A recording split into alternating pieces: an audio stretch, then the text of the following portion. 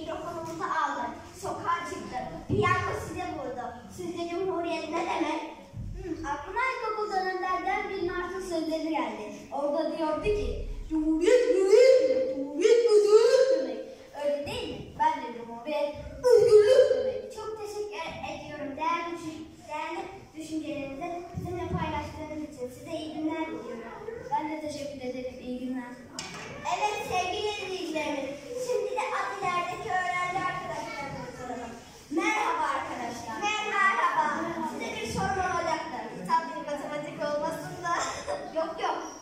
Biliyorsunuz ki Cumhuriyet Bayramımız yaklaşıyor.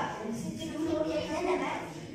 Bildiğim yerden çıktı. Cumhuriyet en iyi yönetim şeklidir. Yeni çalıştım sınavımız var da. İlahi arkadaşlar siz çok iyi. Teşekkür ederim. Biz teşekkür ederiz. İyi günler. Evet sevgili izleyicilerimiz, sözü şimdi de karşıdan gelen şapkalı beyefendiye verelim.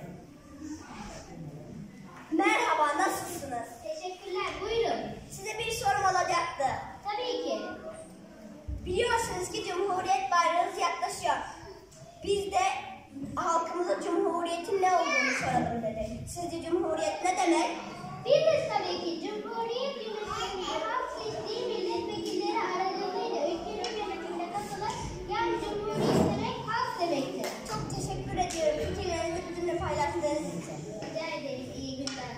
Evet sevgili izleyicilerimiz, şimdi de şurada oturan yaşlı teyzemize soralım. Merhaba teyzeciğim, nasılsınız?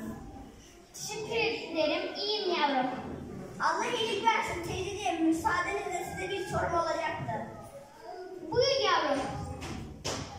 Cumhuriyet bayramımız yaklaşırken biz de halkımıza Cumhuriyet'in ne olduğunu soralım dedik. Bize neler söylemek istersiniz?